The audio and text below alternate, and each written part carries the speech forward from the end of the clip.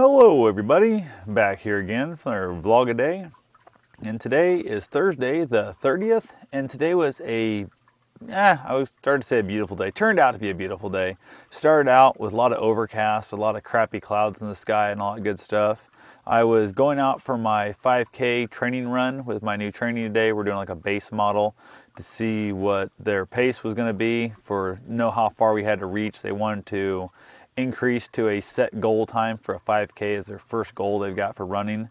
Um, kind of ambitious goal for a first goal. I would have normally liked to have seen them say something like, I want to be able to run for three minutes straight, or hell, actually two minutes straight at this point, um, maybe 10 minutes straight, something like that. But they set out a pretty hefty um, 5K goal time. So I went out there to get a test run to see where I was starting at, to see where I had to improve and upgrade and get them in training to get them to run to meet their goal. So ended up turning in a um, 46 13, I believe it was, was their 5K time, which isn't bad, but their goal time is 35 minutes. So I've got to knock off over 10 minutes of time to get them to their goal pace, and it's going to be possible. I'm giving myself six weeks to do it.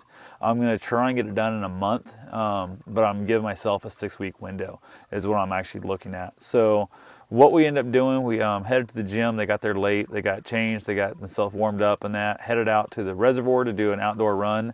Instead of messing with the roads and stuff, I took them out to the trail. I thought it'd be a little easier.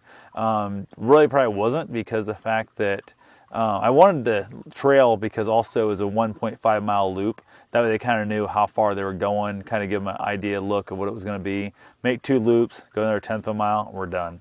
Um, got out there, ended up with a bunch of ice and stuff. But as we left the gym to head out that way, it was trying to rain, but it was giant sleet, like large BB, uh, small pea-sized sleet coming down like crazy. And I couldn't believe they were willing to actually go out there and run in this. Um, I I've run for over a year and I almost didn't want to run in this crap. So definitely um, really super proud of them for that. We got there and the wind was just beating us in the face. Sleet was coming down, was kicking our butt like crazy. Um, that hurt our time a little bit, which I'm all right with. It'll make it seem like we improved more than what it might have been. Also at the end, she said that she thought she could have ran a little farther in between the runs and the walk stages. And I told her the same thing she probably could have also. But right now, I'm still mostly working on trying to control her mind and train her mind because her legs are there, she can run farther. But if I was to I guess, reproduce a failure in her. I'm afraid her mind's weak enough, and I don't mean that to be in a bad way, but I'm afraid her mind in the concept of running is fragile enough, probably a better word to put, that it would set us back way farther than a slower time here today would do. So I'm trying to keep her from having a single failure, at least for the first, you know, three weeks or so. And then from there, I might try and really push her pretty hard, just see where her limits are. And if she fails then, she'll already have three weeks of seeing constant growth in herself that won't be that big a deal of a drop down. This is only like her, I don't know, I have to look, but like fourth or fifth, sixth runs like that. It's not very, she's not been out that often. This is her longest run that we've been together on the run, and her longest run since she's been trained again. She has done a couple other 5Ks, but they were all like mostly walking 5Ks and with groups of people, so it's not quite the same thing. You know, it's one of those things where there was a lot. She was kind of even walking slower than normal because she has a fairly fast walk, which helped keep her time down a little bit because we did walk quite a bit of this. So other than that, um, got finished up there. I got a run on. I got my run warm up in at the gym before that. Went and did the 5K with her. Headed back to the gym, knocked out a bunch of time on the bike. Um, ended up getting back in the treadmill, knocking out some fast training runs. actually ended up outrunning the treadmill, ironically. So it has a maximum speed, and I was trying to go faster. I can't remember the hell was going on. I kept thinking I was hitting the button wrong. And it turns out I'm faster than the treadmill, but only for short bursts. I'm doing like 30 second run, 30 second rest.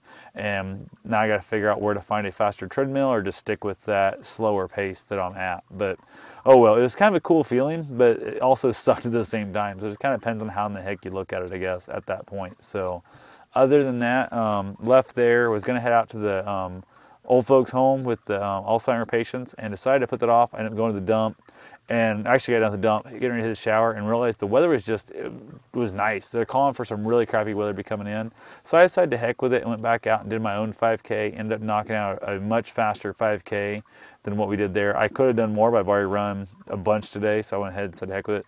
The trails are icy, all that crap, but had a good 5K run there. Then I went for a couple mile walk with the dog, just kind of walking around town a little somewhere different, just kind of chill out a little bit and get my legs resting.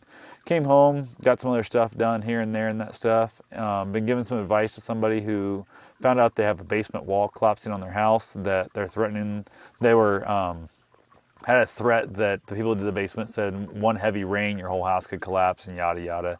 Um, I told them I'd come out and take a look at it. I'm going to try and convince them. They own a little bit of land there. I'm going to try and convince them to maybe move their house back a little farther because they got like a quote of like 14 grand to replace a wall in their basement. And I'm like, you can probably have a whole new basement put in for 28,000 bucks.